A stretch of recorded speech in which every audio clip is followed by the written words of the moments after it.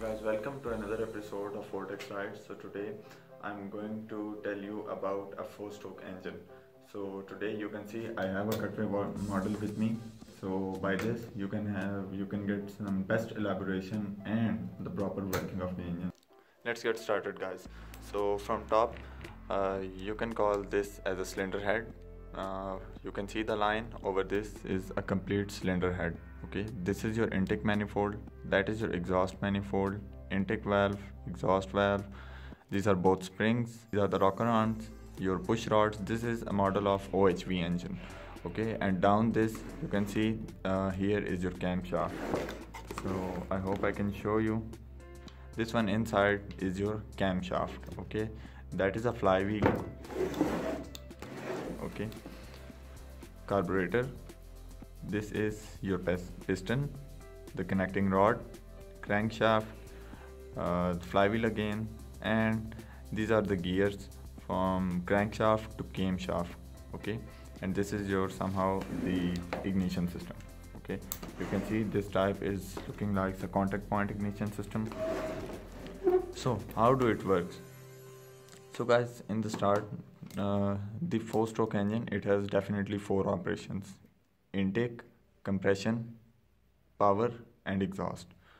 So first see when your engine moves see the first stroke. When the first stroke happens like piston is moving down your intake valve opens.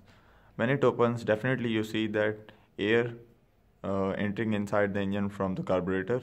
Here the fuel mixes up. It makes air fuel mixture and flows to the engine cylinder. Alright when your intake stroke is complete. Now the next one is your compression. As the compression begins you can see your both valve closes. So thereby keeping all the pressure all the air fuel mixture inside the engine okay? As far as moves up you can see.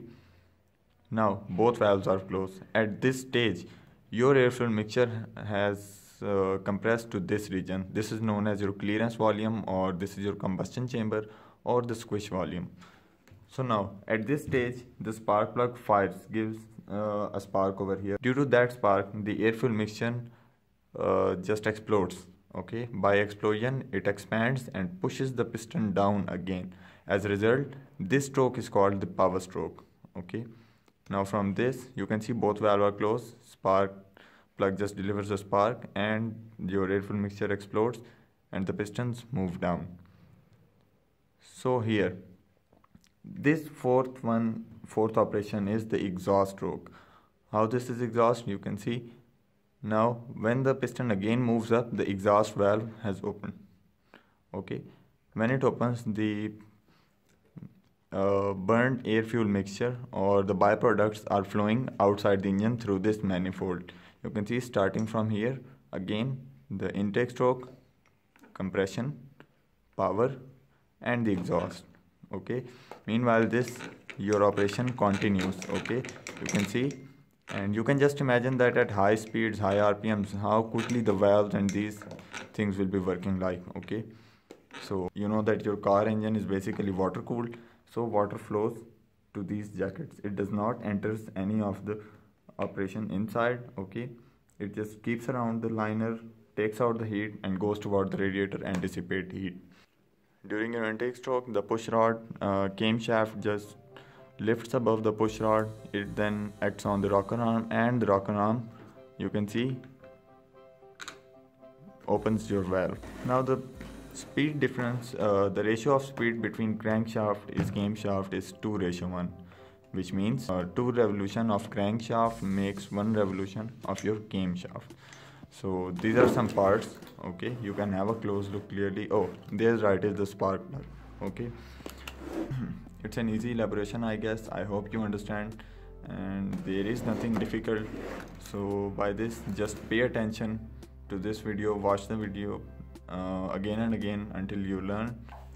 So thank you for watching guys. I hope you can understand the operation of a four stroke engine. So uh, in comment section write down below that if you like the educational content or not.